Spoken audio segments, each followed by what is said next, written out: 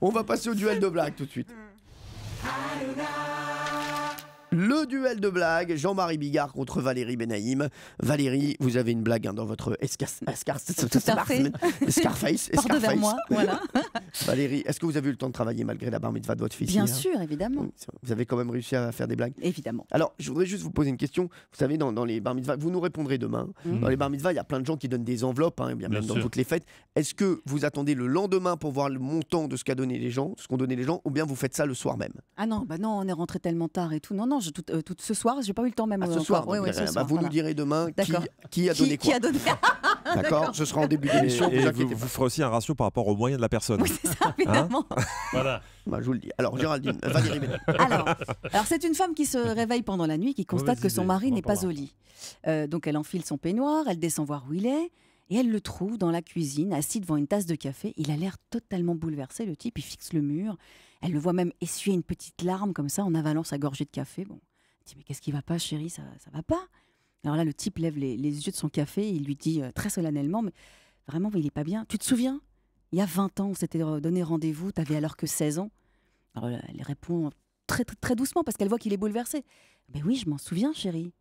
Là, le type euh, continue et les mots lui viennent vraiment difficilement. Il dit Et tu te souviens que, que ton père nous a surpris en train de, de- faire l'amour à l'arrière de la voiture?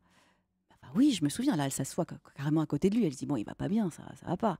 Et là, il continue Et tu te souviens euh, quand il a pointé le flingue sur ma tempe et qu'il a dit euh, Ou t'épouses ma fille ou je t'envoie au tôle pour 20 ans?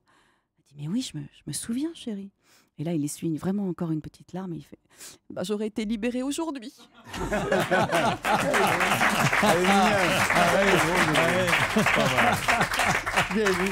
Ça l'a fait du bien de faire sa bar mitzvah. Pas mal. Ah, ouais, c'est vrai. Ah, allez, Jean-Marie Eh Bigard. ben, tu vois, t'as loupé un beau petit billet, parce que ma femme, elle est, elle est juive, sa mère aussi, et c'est elle qui m'abreuve C'est vrai euh, en blague. Ah là là. Et là, elle me raconte celle-là, c'est c'est David et Cohen, ils discutent, et David, il dit, il dit, il dit, ma femme, elle me fait chier, tous les matins, elle me demande 500 euros. Et tous les matins, et le matin, il arrive, clac, elle me demande 500 euros. Tous les jours, 500 euros. Il dit, mais qu'est-ce qu'elle fait avec cet argent? Elle dit, je sais pas, je lui ai jamais donné. Ah, elle est bien. Et puis une petite blonde, une petite dernière que je connaissais pas, c'est la blonde qui envoie un texto à son mari. Elle lui écrit Chérie, tu as oublié ton portable à la maison. Elle est bonne ou pas? Oh là, dis donc, il y a eu un sacré temps de latence. hein. J'ai l'impression Il y que a de là, la vous êtes blonde. un petit déficit de neurones là, en fin d'émission. hein. Ah ouais, y a- y a- tout, le monde a, tout le monde a lâché, mais elle était très drôle.